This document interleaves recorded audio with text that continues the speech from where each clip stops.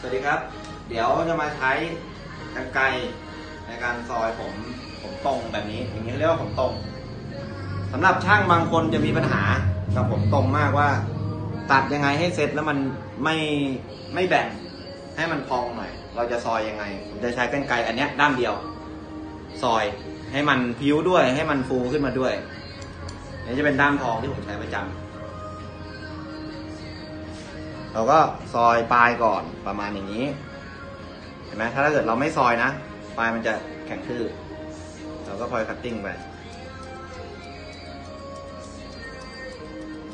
พอเราได้ปลายเสร็จปุ๊บ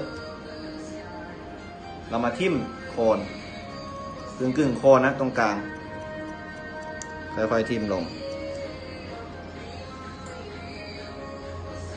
การที่เราซอยตรงกลาง เพราะว่าเส้นผมที่มันขาดตรงกลาง มันจะดันขึ้นมา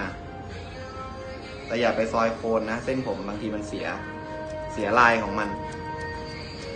หรือไม่ก็เราพอยไว้ก่อน พอยให้ทั่วหัวเลย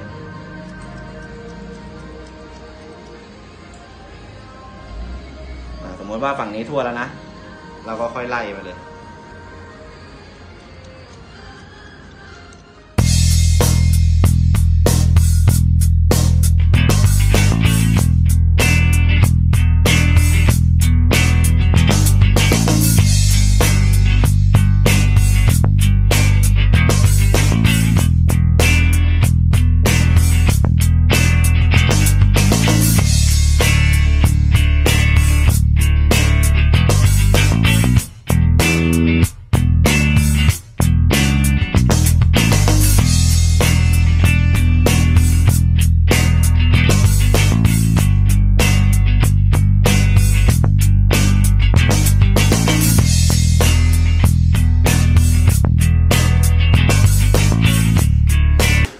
เดี๋ยวเราก็จะมาไดแล้ว หลังจากการซอยให้มันพองเสร็จ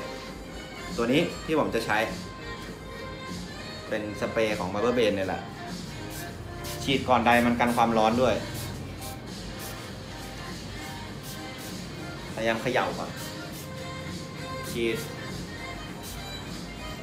ฉีดให้ชุ่มเลยก็ได้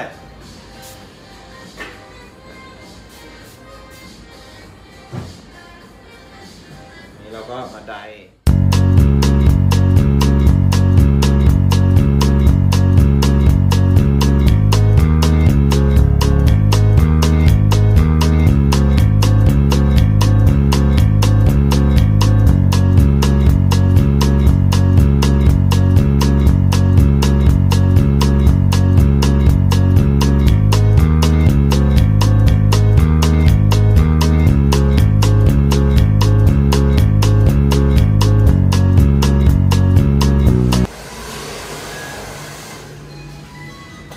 อได้เสร็จมันก็จะอยู่ประมาณนี้เนี่ยมันจะไดง่ายด้วยด้วยตัวสเปรย์เมื่อกี้แล้วก็กับการซอยให้มันพองขึ้น นี้เราก็จะเซ็ตผมง่ายละประมาณนี้